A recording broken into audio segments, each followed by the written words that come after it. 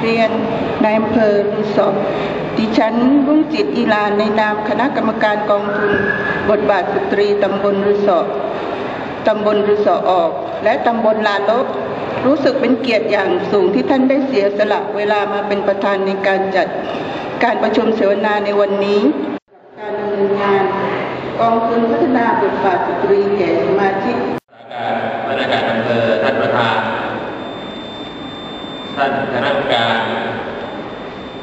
แล้วก็สมาชิกกองทุนพัฒนาบทบาทสตรีตลอดจนถึงผู้มีเกียรติที่เคารพรักทุกท่าน ท่านสามตำบลคือตำบลรือสองตำบลรือสองกอก็ตำบลละลกผมมีความรู้สึกยินดีและก็เป็นเกียรติอย่างยิ่งที่ได้มีโอกาสมาพบปะกับผู้นำ ในระดับหมู่บ้านในระดับตำบลของทั้งสามตำบลในวันนี้คือทาง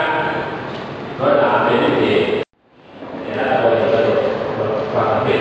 ว่าได้ทางเข้ามาพวกเราในตอนนี้ในทุกๆอำเภอก็อยู่ระหว่างการทำความซึ่งเงินก็มีอยู่แล้วตั้งอยู่แล้วที่จังหวัดนี้เป็นเงินงบประมาณของแผ่นดินดังนั้นปัญหาของดนตรีก็มีมากมาย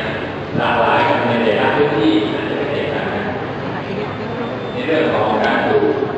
ออกนอกบ้านไปผู้หญิงไม่อยู่กับบ้านอันนี้ปัญหาเหล่านี้ผมว่าเรื่องยาเสพติด